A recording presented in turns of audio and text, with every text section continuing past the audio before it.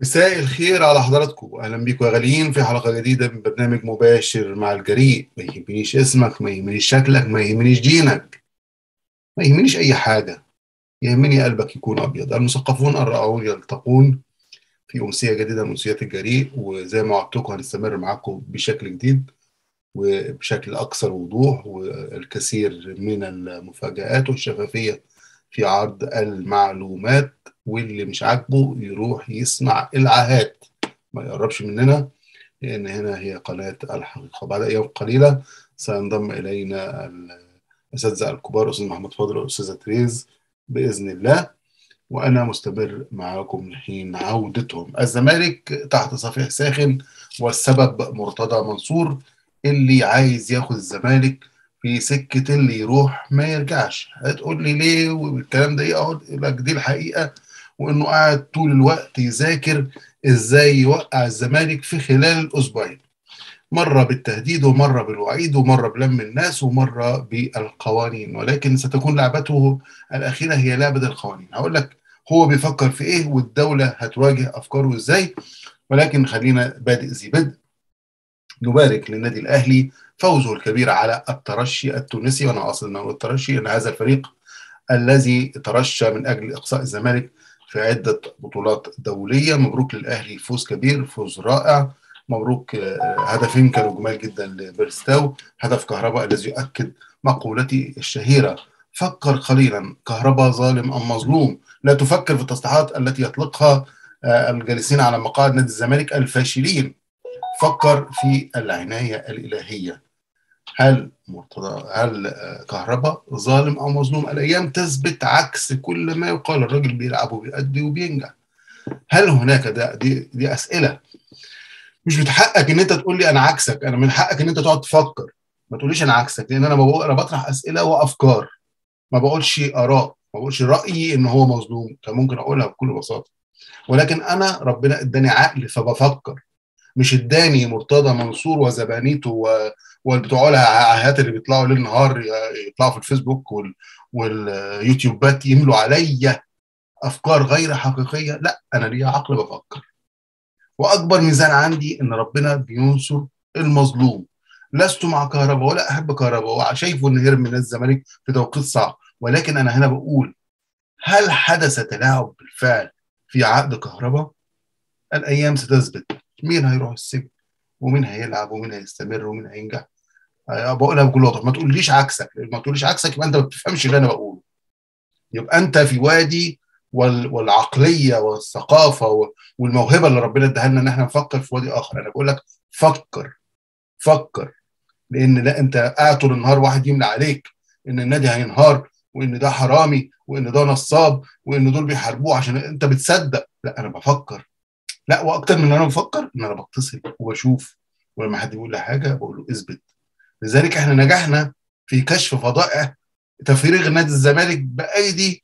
مش هقول ان الزمالك ان الناس اللي بتدير نادي الزمالك مش ولاد نادي الزمالك ولا عمرهم كانوا هيكونوا ولاد نادي الزمالك. ولكن بايدين ناس مصالحها في اللزقه في الكرسي مصالحها في السمسرة مصالحها في الفضائح الماليه فمرة أخرى أنا ببارك النادي الأهلي لأني مش هكون ضعيف النفس وهخلي أي حد مرتشي أو جبان يفصل ما بين حبنا لوطننا الكل اللي بيجمع الأهلي والزمالك وده يبقى عدوي وده يبقى مش عارف إيه. إدارة النادي الأهلي فاسدة آه في طرق يا حبيبي إن أنت ممكن تروح تشتكي ممكن تقدم بلاغات ممكن تثبت بأوراق ما تقعدش تبع كلام. ابن عبد السلام شايف إن إدارة الأهلي فاسدة؟ قدم بلاغات اتحرك.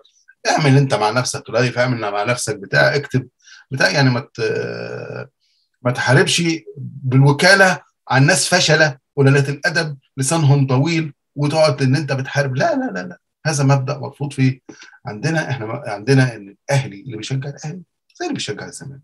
اتنين في بيت واحد. زوج وزوجة. إخوات. هتحاولوا تفرقوا ما بيننا؟ مش هتقدروا. مش هتقدروا. أما الإدارات 99% من الإدارات الرياضية في مصر إدارات فيها فساد مالي وإداري كبير. ما حدش ما بعيد عن هذا 99% بقولها لك بوضوح. ولكن الناجح اللي ما بيبعبعش بالكلام الناجح اللي يداره وتطلع اوراق بالفعل زي ما أقول لكم أنا بعض الحاجات النهارده في هذا الفيديو بإذن الله. اذا بنبارك بكل قوة النادي الأهلي. إحنا كزملكاويه مثقفين ورائعين وفاهمين إن الفوز الأهلي ببطولة ده فوز مصر بالبطولة مش حاجة تانية. مش هدايا يبقى الخطيب كسب بونت على مرتضى. ومش عارف إيه والكلام الفاضي اللي بيزرعوه فيه كل النهار. دول مصريين وإحنا مصريين دول وطنيين وإحنا وطنيين. إيه بلد واحد وثقافة واحدة. واللي بيزرع الفتنة ده الفاشل الضعيف. اللي ما بيقدرش يواجه اللي ما بيقدرش يعمل أي حاجة ده اللي بيزرع الفتنة. ونتمنى طبعا انه يكون يوم الجمعة القادم يوم التتويج للنادي الأهلي والوصول للمباراة النهائية. وفوز أكبر إن شاء الله. في ناس بتتكلم كتير عن قضية يوسف اسامه أنا أتناول القضية برضو بالتفكير العقلاني من وجهتي نظر. وجهة النظر الأولى إن هم دول ولاد نادي الزمالك وولاد مدربين كبار في نادي الزمالك وولاد نجوم عملوا شهرة ومجد لنادي الزمالك. فمن العيب كل العيب إن هم يسيبوا نادي الزمالك دلوقتي في ظل الزمالك محتاجهم. طبعا في كلام كبير إن يوسف اسامه مضى لبراميز وسيف جعفر في الطريق أو مضى يعني الله أعلم. أنا يعني إذا أردت أن أقول وجهة نظر الشخصيه أنا ما شفتش شيء على الإطلاق من يوسف أسامة وسيف جعفر. إذا إذا كان الزمالك إدارة واعية وتستطيع إن هي تعمل شيء تعمله. إدارة عايشة على الكراسي وتلف على الكراسي وانت يم وشرب أخضر والكلام الفاضي اللي إحنا شفناه في وسائل التواصل الاجتماعي خلاص يمشوا الاثنين ما يعني ما فيش جديد يعني. هم هم مشوا نجوم كبار. ونجوم لهم اسم ولهم تاريخ وجابوا لنا لعيبة لا تصلح للدرجة الرابعة. يوسف أسامة وسيف جعفر لم يقدموا أي شيء لنادي الزمالك. أهاليهم مش شايفه ان هم يقفوا جنب نادي الزمالك يعني الموضوع مش هيكون ازرط من اللي عملته لذي الإدارة الراحلة ولا الحالية ولا اللي قاعدة ولا. في كلام آخر إن الزمالك هيتأهل لكأس العالم للأندية في حال إن الأهلي فاز بهذه البطولة. طبعا من الآخر كده كله أوهام. وكله هتش ونتش يقول لك عشان الزمالك كان واصفها 2020 يبقى يتأهل للبطولة. لا الكاف وال والفيفا بياخدوا بالترتيب حسب تصنيف النادي. وطبعا تصنيف الزمالك متأخر جدا عمال لنا فترة كبيرة منهارين افريقيا يعني منه الله اللي خرب النادي وخرب الفرق وخرب وضيع علينا بطولات كثيره منهم لله جميعا يعني. ربنا هو اللي بيحاسب فإحنا افريقيا متأخرين. ومتزيرين الترتيب بشكل فظيع. طيب في أحد الأندية الكبيرة في مصر حاليا فيها ملفات فساد كبيرة. النهارده هنقول بالحروف الأولى أحد ملفات هذه الفساد إن تم تغيير أرضية الملعب الكرة بفاتورتين. يعني شوف الفجر فاتورة شركة غيرت الأرضية وفاتورة شركة ثانية غيرت الأرضية. إلى هذا الحد يعني أنتم فاجرون في التلاعب بأموال مصر. كمان في اختفاء فواتير بمليار جنيه. اختفاء فواتير بمليار جنيه. إحنا بس بنلمع ومش هنقول أكتر من كده حاليا لأن الجهات الرقابية عاملة شغلها على أروع تقدير. ملفات وملفات وملفات من أمها ناس تقول إيه اللي هيحصل في حالة إن السيد مرتضى منصور بالفعل هيأكد كلامه وهيمشي؟ وهياخد معاه المجلس. طبعا هو يفكر ويفكر كيف هيسقط نادي الزمالك. عمره ما حب نادي الزمالك ولا هيحب نادي الزمالك اللي بيفكر هذا التفكير. لكن زي نادي الزمالك هيبقى وهيعيش وهيبقى له رجال شرفاء يحموه ويدافعوا عنه. طيب خلينا في قانونيا علشان دور الإفتاء اللي شغالة هنا وهناك تفتي. إيه الوضع إذا مشي مرتضى؟ كلام رجالة ومشي. كلام رجالة وفي إيده أحمد طبعا لأن أحمد عضو مجلس هو كده كده مرتضى ليس له وجود ولكن أنا هنقول جدليا إنه مشي وخد معاه أحمد وخد معاه المجلس مع إن حتى الآن لم يقدر استقالته رسميا بس على المايك وأحمد لم يقدم استقالته رسميا بس كده. وأعتقد إن خالد لطيف قال له لو هتمشي هنمشي معاك. لم يقدم أي شخص استقالته رسميا في نادي الزمالك حتى هذه اللحظة كله كلام ابن عم عبد السلام. لكن هنمشي قانونيا. في حاله اللي هيحصل كده لا في لائحة بتحكي الموضوع مش هيبقى في لجان عشان هيعيش في لجان مش, هيبقى في لجان. هتبقى في ثلاث آه أشخاص موجودين في النادي حاليا هم اللي هيديروا أعمال النادي لحين إجراء انتخابات؟ يعني هيكون في لجنة مؤقتة من مدير تنفيذي مدير مالي مدير الشرط الرياضي هيتولوا شؤون النادي والدعوة لعقد دعوة لانتخاب مجلس إدارة جديد في أول اجتماع للجمعية العمومية أعتقد شهر 6 أو 7 حاجة زي كده هيبقى في انتخابات. والجميل في هذه الانتخابات إن مش هيديرها الموجودين في النادي عشان إحنا عرفنا وتأكدنا وفي يمكن حكم يصدر قريبا بعد فترة وجيزة إن الانتخابات حصل فيها تلاعب وعضويات اتضربت وناس استبعدت والكلام اللي بيعمله كل أي حد بيقعد على الكرسي ما بقت معروفة في كل الأندية. لا الجميل في الانتخابات دي اللي هتظهر النتائج بشكل واقعي. طيب اذا لم يكن هناك لجنة معينة من وزارة الشباب والرياضة حسب المادة 14 من اللائحه الاسترشاديه اللي بتحكم نادي الزمالك. حاليا هيبقى في لجنة مشكلة من المدير المالي والمدير التنفيذي ومدير النشاط الرياضي هم اللي هيديروا أعمال النادي. طبعا لا يقدروا يعملوا صفقات ولا يقدروا يعملوا حاجة هيسيروا أعمال النادي. لكن أقرب جمعيه عموميه أعتقد في شهر يونيو أو يوليو القادمين على كل تقدير وإن شاء الله يكون في زملكاويه شرفاء يستطيعوا أن يتولوا المسؤوليه. في ناس هتقول طب ما مرتضى منصور هيترشح. آه مرتضى منصور هيترشح. وسيبكم من الاعتزال والكلام ده. هيروح يقدم أوراقه لأن هو عارف يعمل إيه. ولكن هيستبعد. مرتضى منصور هيستبعد.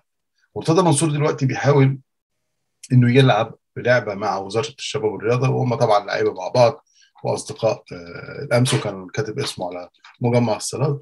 إن هو يجرجر الوزارة في حل المجلس وإجراء وتعيين لجنة. الوزارة مش هتتجرجر معاه في الموضوع ده. الوزارة كل اللي هيحصل إنه في حالة استقالتهم بالفعل إنه هيكون في لجنة من الناس اللي قلت لكم عليها برضو إحنا هنا كل هدفنا إن إحنا نفهم الناس حتى يبتعدوا عن الغوغاء الإعلامية اللي هتلاقي من هنا وهناك وده بيطلع اشاعه وده بيطلع بتاع. هي لجان هدفها هدم الزمالك وتحطيمه ولازم يكون في إله واحد ولازم يكون في هو القائم بالأعمال الواحد وهو وإلا خربت الدنيا وخرب نادي الزمالك ويعني البعض فيهم ممكن ينتحر لأن الشخص ده لازم يكون موجود كالإله لا يتغير حاشا لله. استغفر الله العظيم كل شيء في العالم بيتغير الله هو الذي لا يتغير. كل البشر خطائين ما فيش واحد منزه عن الأخطاء. أرجوكم أرجوكم نزهوا نفسكم. وفكروا في حب نادي الزمالك فقط. الأشخاص زائلون ويبقى نادي الزمالك هو اللي في القلوب. وفي كل القلوب. خلينا ننقل لاخر قضية من قواضي المستشار مرتضى منصور أو السيد مرتضى منصور رئيس الزمالك المعزول أو رئيس الزمالك المستقيل. الله أعلم أي وضع كان. كان في قضية اليوم أمام الدائره الثالثة جنح اقتصادي. السيد مرتضى منصور رفع قضية على محامي بيتهمه بالسب والقذف. اتأجلت لجلسة 27 مايو الحكم. في الجلسة الماضية تنحى قاضي الدعوه المقامه من السيد مرتضى منصور ضد أحد المحامين بيتهمه بالسب والقذف لاستشعار الحرج.